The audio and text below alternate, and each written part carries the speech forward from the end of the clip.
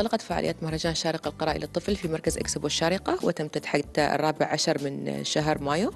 آه، يقدم المهرجان أكثر من 1700 فعالية متنوعة موجهة لجميع أفراد الأسرة.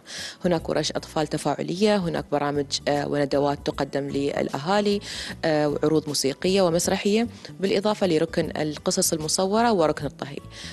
كذلك نتطرق للمواضيع التي تخص التواصل الاجتماعي مجموعة كبيرة من الورش التي تقدم للأطفال ومختلف المواضيع التي يتم مناقشتها خلال هذا المهرجان. أغلب الورش التي تم العمل عليها وتقديمها خلال هذا المهرجان هي ورش مدروسة. أه، توجه للأطفال ممكن نقول تعليمهم نحن دائما نطمح من خلال البرامج التي نقدمها أن نحن ندمج التعليم بالترفيه لإيصال المعلومة بشكل أبسط للطفل وممكن تثبت في في باله وفي عقله. هذه كانت الدورة الأولى أه، لمؤتمر الشارقة الرسوم المتحركة واللي كانت فترتها من 3 لين 5 مايو وكان بالشراكة مع Bergamo Animation Days المؤتمر التقى على منصته للمرة الأولى كبار الرسامين وصناع المحتوى في مجال الرسوم المتحركة.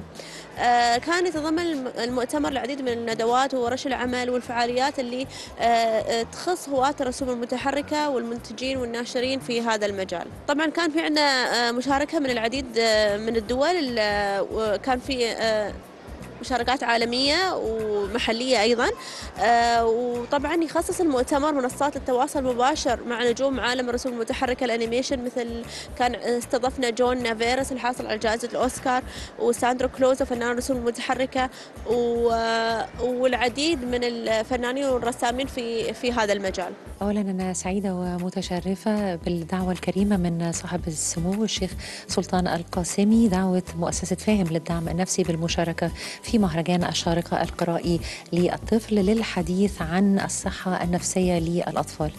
بالتأكيد أن مشاركة مؤسسة فاهم خارج الأرض الدولة المصرية لأول مرة على أرض دولة الإمارات العربية الشقيقة فده بالتأكيد إضافة جيدة.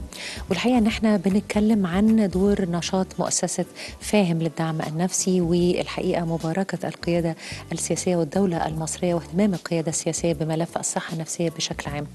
آه، في جناح مؤسسة فاهم للدعم النفسي بنقدم الكثير من الأنشطة للأطفال آه، ورش عمل آه، حكي. هو حقيقة ما شاء الله تشوف الإقبال كبير ومن كل الجنسيات وهذا شيء يعني مفرح وطيب.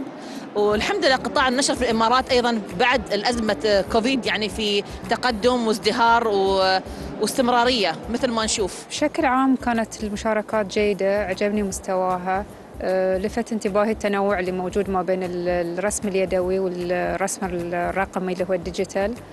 آه، لفتوا انتباهي الأعمال اللي فازوا بالجوائز خصوصا آه، الأسماء العربية مثل الفنانة الرسامة لينا نداف أنها فازت بجائزة الثانية. فأحس أن هاي خطوة وايد إيجابية لتشجيع الرسامين العرب لأن عادة غالبا يفوزون الأجانب في السنوات السابقة فلفت انتباهي هذا الشيء بالنسبة لهذا العام.